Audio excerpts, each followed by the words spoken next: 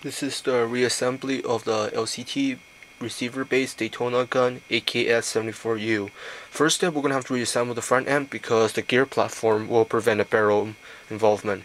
First thing you need to do, slipping in this barrel, the flat surface on the top, just slide it in. You have to wiggle in. Okay, next step, take the magazine, put it in. It won't fit. Adjust the adjust the barrel until until it fits. If it catches, excellent. Now just tighten tighten up the receiver top. You might want to do Loctite on it. I'm not going to do it right now. Don't over tighten it, okay? As soon as you can't feel any more tightening, like, stop. Okay, next step, you're going to take the top cover, put it back. Slide this up, goes all the way over. Is secure. Use the 1.5 millimeter the the set screw and put it in. This is the one of the shorter ones. Okay, take out the magazine. You don't need that. Just slide it in. Once again, if it's tight, like, and stop. Okay, next step, lower handguard. Lower handguard comes like this. Slide the front end. Make sure the barrel, the the uh, what they call delta ring for the M16 goes in. It has to go barrel in. Next thing, top cover, same thing. Remember, smaller one goes front, bigger one doesn't go. Okay, smaller one goes front, slides in. The top should hold each other together. Like if I press it here, it shouldn't come out. Okay, next thing you're gonna do is you're gonna stick your flash your glass top front side in. Before you screw in and completely this is the step to do windage adjustment. This is the only way you can do windage on this gun. The shifting on the AK series doesn't work on this gun.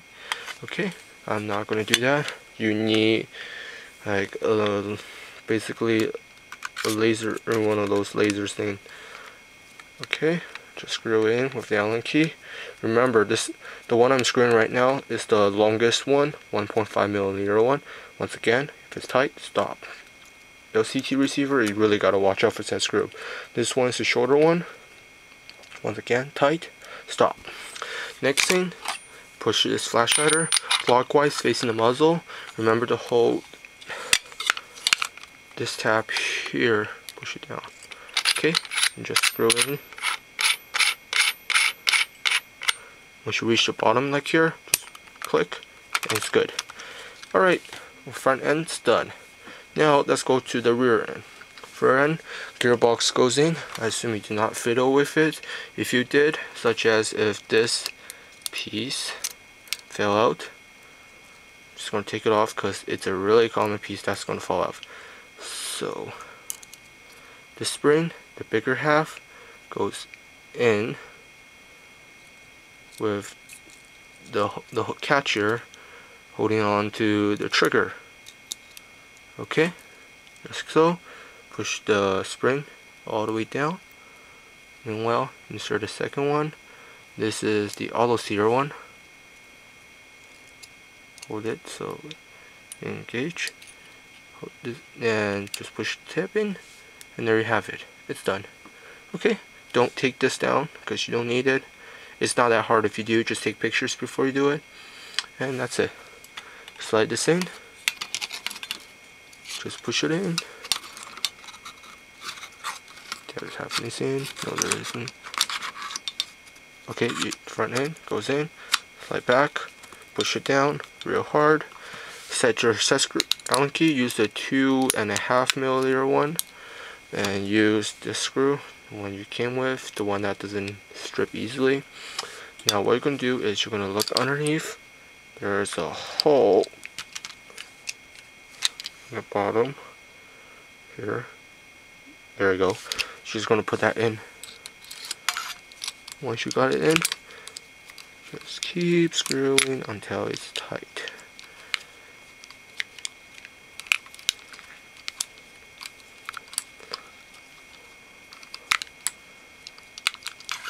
Am I actually it? Yes, I am.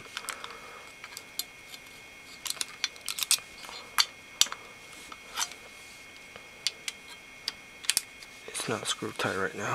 It's taking longer than usual. Sorry, I'm just going to take it out of screen. Because I don't really normally do disassembly watching the camera screen. There you go. It's just a little. Okay, once that's done, check the internal. Should be like so. Next thing I'm going to do is you're going to put this trigger, the selector in. Selector, there's a tab, there's a second tab here. Okay, goes on here. You put the tab in, watch how it goes. You gotta push down the both hammers, slide the second one in on 90 position. The circle here, circle,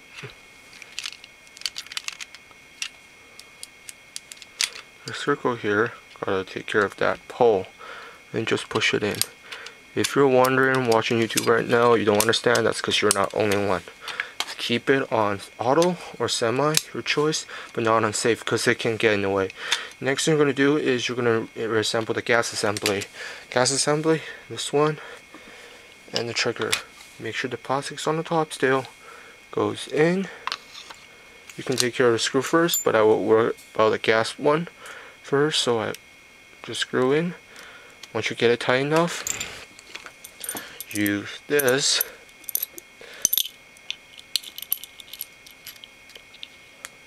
Get it tight. And tight's good. Don't over tighten it. Push it down. Use the 316 to screw this down. Just fiddle until you get it Nope, not yet.